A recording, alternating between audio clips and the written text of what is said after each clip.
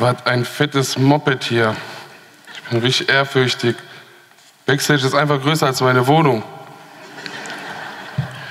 So, die Zeit, die drängt ein bisschen, deswegen keep it simple and short. Ich habe ähm, in Bezug auf den ganzen Diskurs um Rassismus eine Streiterei gehabt. Eine Option war, die Person zu schlagen, die anderen Text zu schreiben. Ich habe mich für das Vernünftige entschieden.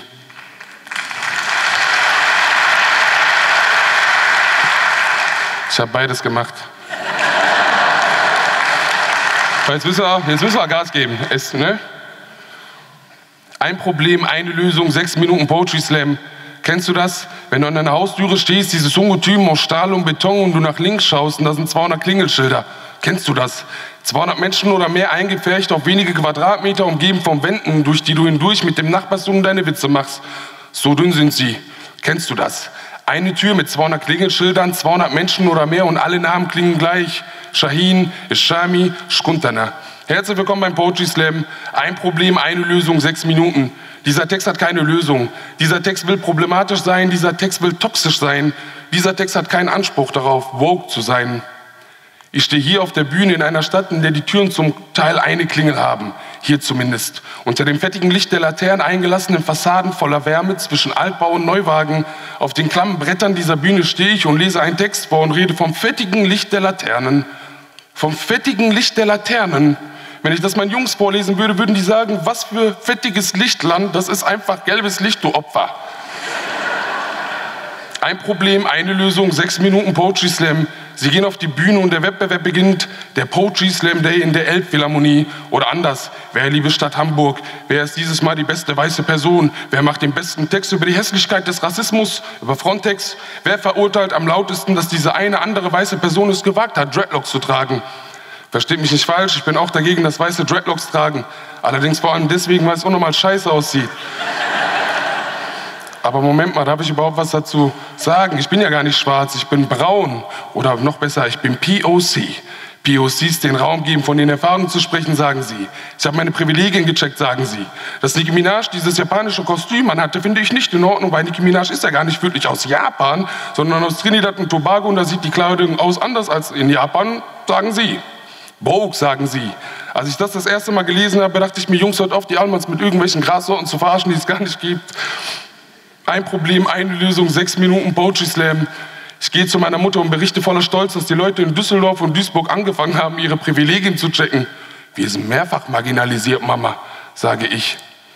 Ich gebe dir gleich mehrfach marginalisiert, sagt sie.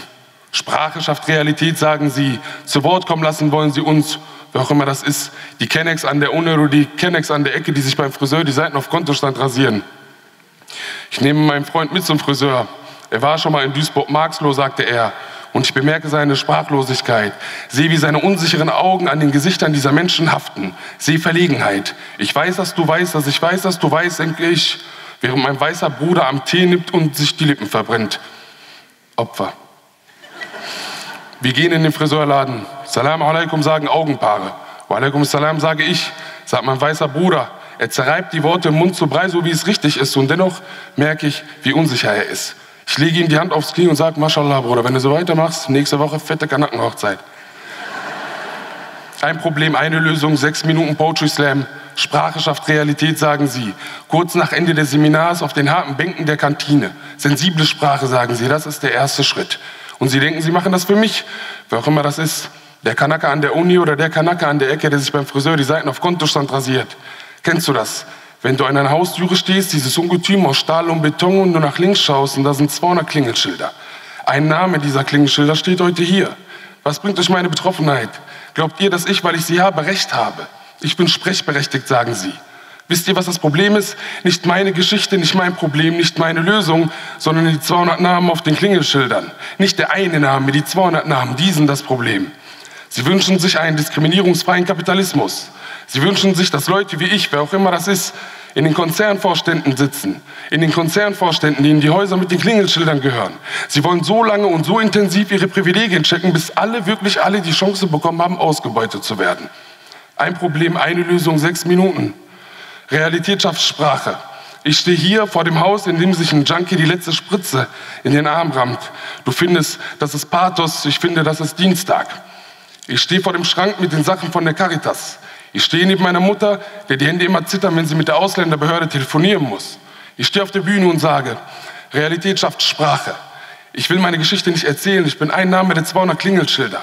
Mein Name tut überhaupt gar nichts zur Sache. Die Sache ist die, sie tun so, als wäre Sprache die Lösung. Als ging es darum, dass der scheiß Fascho-Opa mich gestern als Molukken bezeichnet hat. Der Fascho-Opa lebt in einem System, welches Rassismus produziert. Denn für ein Haus mit 200 Klingelschildern braucht es eine Erklärung. Und die Erklärung ist meistens, die haben nichts, weil die schmarotzen, weil die faul sind. Ihr holt die Leute nicht hinter den Klingelschildern hervor, wenn ihr den einen Namen zuhört. Ihr holt sie aus dem Haus, wenn ihr versteht, dass sie Geschichten keine Geschichten, sondern System sind. Ein Problem, eine Lösung. Und die Lösung heißt Klassenkampf. Dankeschön.